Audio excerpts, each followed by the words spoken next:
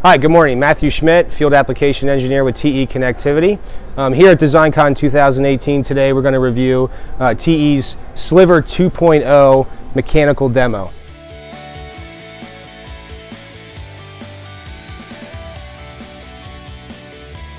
Uh, Sliver 2.0 is compliant with the SFF TA 1002 specification and based on TE's original Sliver technology. Historically, within a system or chassis, um, multiple different interconnects were needed um, to accomplish certain goals within that chassis, i.e. storage, um, memory, um, PCIe, and also expansion. With Sliver 2.2.0, um, we have one interconnect solution that can span multiple different applications. This is a protocol agnostic connector offered in three different standard sizes in vertical and right angle configurations.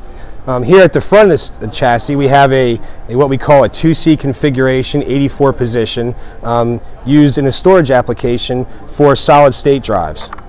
Uh, moving on, uh, we have standard cabled sliver, just to show you where we're headed with the technology, as Sliver 2.0 will also be offered um, in a cabled solution as well, in addition to these card edge solutions that we see here.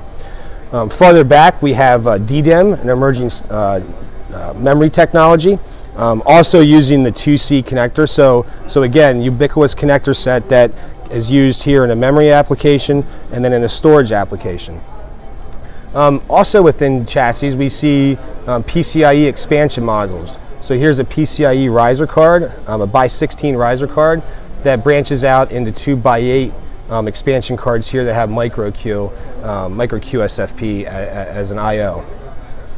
In addition to the storage, memory, um, PCIe applications, um, Sliver 2.0 is also being used in the new OCP NIC 3.0 standard. Um, what we see here is a straddle mount configuration, and then we see a right angle configuration here as well. So again, just to kind of recap, you know, one connector set used across multiple different applications within a chassis. Uh, more information can be found on te.com. Thank you. Have a good day.